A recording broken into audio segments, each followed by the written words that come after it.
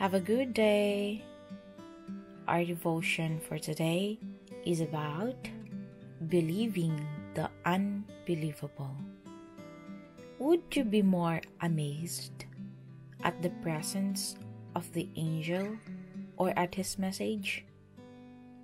In Luke 1 18 to 22, Zechariah said to the angel, How can I be sure this will happen? I'm an old man now, and my wife is also well along in years. Verse 19 Then the angel said, I am Gabriel. I stand in the very presence of God. It was He who sent me to bring you this good news. Verse 20 But now, since you didn't believe what I said, you will be silent and unable to speak until the child is born. For my words will certainly be fulfilled at the proper time. Verse 21 Meanwhile, the people were waiting for Zechariah to come out of the sanctuary, wondering why he was taking so long. And verse 22 When he finally did come out, he couldn't speak to them. Then they realized from his gestures and his silence that he must have seen a vision in the sanctuary. Zechariah was amazed. He could hardly believe the message of the angel. Are you sure? he asked. Both my wife and I are old now. Probably too old to have children of our own. The angel replied, I am the angel Gabriel, and God has sent me with this message.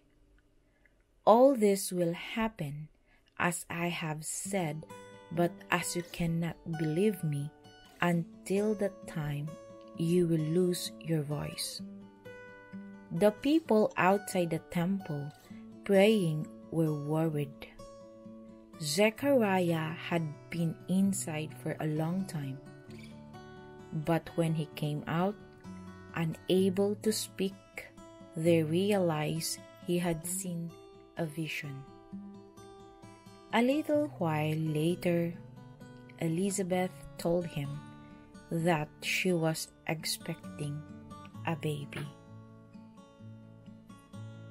When told he would have a sign, Zechariah doubted the angel's word. From Zechariah's human perspective, his doubts were understandable.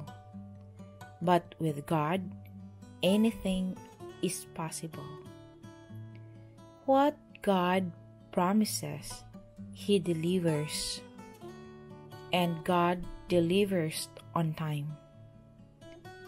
You can have complete confidence that God will keep His promises. Their fulfillment may not be the next day, but they will be at their appointed time. If you are waiting for God to answer some request or to fill some need, remain patient. No matter how impossible God's promises may seem, what He has said in His Word will come, will come true at the right time. Let us pray, forgiving and loving Father. Thank you for this wonderful day.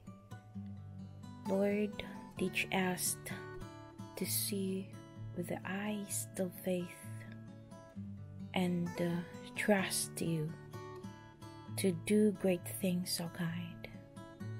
Lord, help us that when times we will doubt, we will come to you And we will pray to forgive us and help us to pray continually, Lord God, to come to your presence, O God, and to trust, O God, your promises.